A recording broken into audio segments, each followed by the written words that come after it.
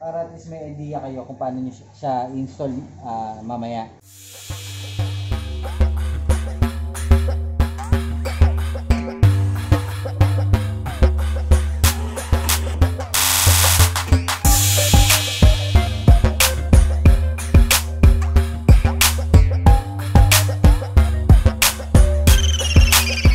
Up? Good morning sa inyo mga kaguns. Ito naman tayo sa once a month vlog. Okay, so ngayon papakita ko sa inyo paano yung paglagay, pag-install ng decal, so yung cut out na decal. So, ito muna, tatanggalin natin muna yung ah, dating ah, design niya, yung ano, emblem. So, paano tanggalin yung emblem? Kailangan na natin ng mga materials na ah, yung heater natin o yung blower lang na gamit ko, blower. So, kailangan na natin reheat yung kanyang adhesive para medyo lumambot para mas madaling tanggalin to. Kasi mahirap siyang tanggalin. Plus, mawawala yung libag o yung dikit na adhesive niya pag ah, mas hinit natin siya.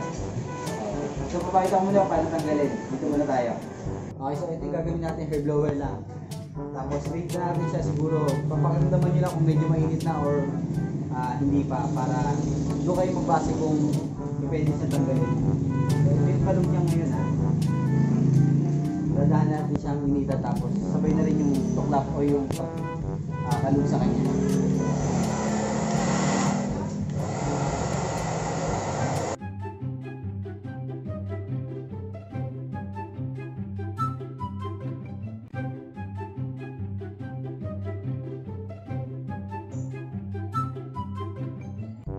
Ayan, wala pang ano, wala pang mga 30 seconds lang. Mga 30 seconds lang more or less.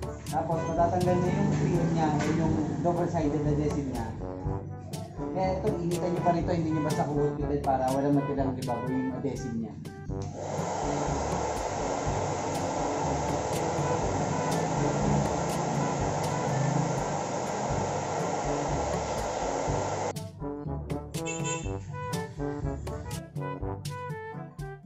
Ito, natanggal na natin. May natirang konting-konti lang libag. So, ngayon, ang gagawin naman natin dyan, nasambulin natin siya gamit yung joy para matanggal pati yung mga nailagay na magic gatas. Para lahat ng mga dumi, pati stain or kung nalagyan man siya ng mga hindi natin nakikitang mga alikabok, matanggal din yun kasi source yun para ma, hindi masyadong lumikot yung ating decals. So, ito yung gagawin natin sa kanya, joy, tsaka yung pampuskus lang natin. Tatlong yung ating lilinisan. Tapos, lagyan nyo na ng konting joy. Tama lang para lang ma... Para lang malinis.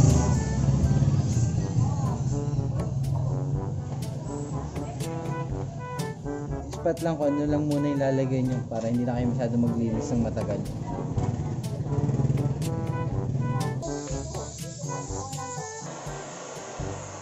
Okay, so nalinis natin, tanggal natin yung mga yung mga adhesive niya at saka yung mga nakadikit sa kanya. So ito na tayo yung sa mismong actual na sticker natin. So una yung gagawin dyan, sukatan nyo muna kung saan yung balak siyang patamain para at least may idea kayo kung paano nyo siya- install ah, mamaya. So sa akin ganyan. So yung key niya, yung key nasa pagitan nitong biyak yan. Yung dulo lang. So mapupunta dito yung taas na part, tapos dito yung baba. So paano yan? Ito may may naka matic na may nakasama ng adhesive sa mga ginagawa ko. O yung ano, transfer tape pala. So medyo hindi wala masyado siyang dikit para walang ano, walang ah, libag o yung adhesive na maiwan sa transfer tape. Ay sa ano, sa adhesive pala. Kailangan niyo lang tulad niya kung mapapansin niyo umaangat. Dobleng patong kasi siya. Kailangan niyo lang siya i-fold sa, sa likod. Gaganyan niyo lang oh. para maiwan na yung adhesive. Ay ano yung legal sa transfer tape. Once na, once na kumapit naman yan, dire-diretso na yan oh. Hindi, hindi, meron kasi nagtatanong ba't hindi madikit. Kasi kung madikit yan, may maiwan na adhesive dyan sa mismong actual na decal. So yun ang mahirap tanggalin yung actual na decal, ay na adhesive, na nakadikit sa decal. Sentro nyo kung saan yung didikit dyan, pero huwag nyo muna ididikit, mag-allowance kayo ng daliri nyo para hindi dumikit. Tapos kung saan nyo siya papupuntahin. Ganyan. Or yung isang way naman, kakalahatiin nyo lang, kasi malaki to. Ang gagawin ko dyan, hahatiin ko lang. Tatakpan ko muna yung half.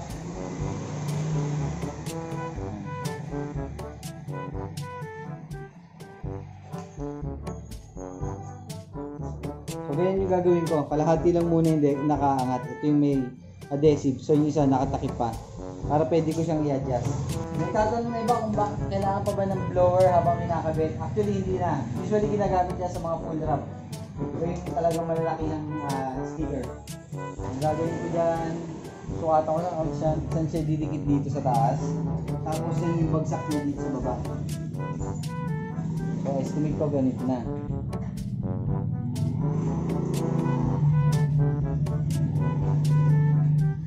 Sentrin nyo lang mabuti kung saan nyo gusto pang patamahin yung decal nyo. Mas nadikit nyo, konti lang muna. Para pwede nyo i-adjust, pwede nyo tuklapin. Pwedeng diretso nyo na kung saan yung tama. Yung sinasabi ko, sabi ko, dito ko siya patatamahin. Sa pagitan nito, ah, sa pagitan yan. So, kailangan ganyan. Dito sa pagitan nito, nakita niyo yung hukay na yan. Diyan mapupunta yung pagitan ng K. Sa gitna siya dito siya lalabas. So, balik tayo dito. Diyan nakatama yan, nag-bend dito. Pwede natin siyang i-adjust. Diba? Nyo naman iangat yan. Gamit lang din yung transfer tape nyo. Sa transfer tape na kayo hawak. Huwag na kayong hawak sa mismong ano, decal yan.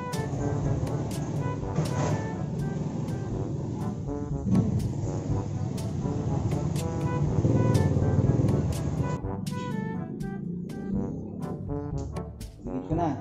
Ngayon, paghagod nyo dyan, simula sa dulo lang din. At ganyan nyo lang ng kamay nyo.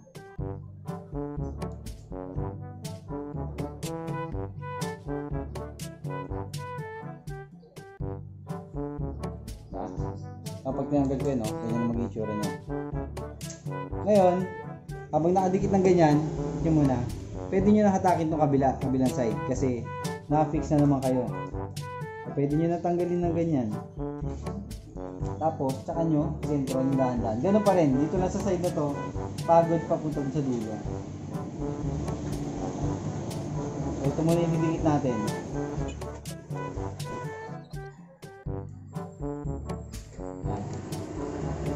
Ngayon kung kumala may gusto kayo adjust, pwede nyo naman tuklapin yan. Tatanggalin na natin.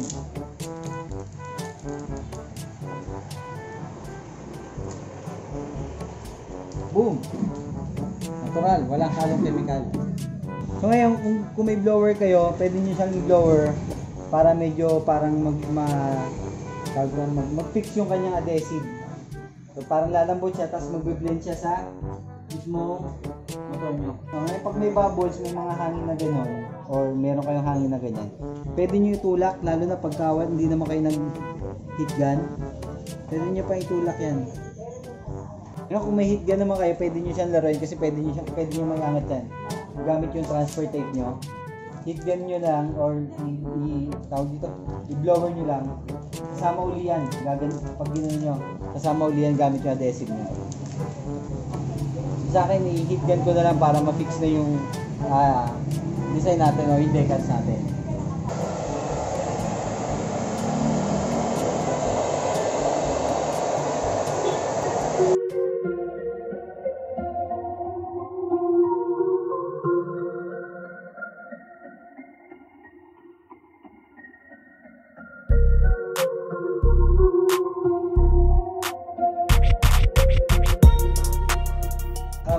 Parati kayo unique. So para pagka nasa parking kayo, ah, makikita nyo agad ka yung motor nyo. So kailangan nyo ng bagong decals na ganito. Tsaka yung pang-changer nyo, yung ganito. I-establish mo. Kailangan may pang-changer kayong ganyan ha. Yung ano, bagong bagong model ng motor. Yan ha. Tingnan mo please. Ayan. Eh! okay, yung next lang. Babush!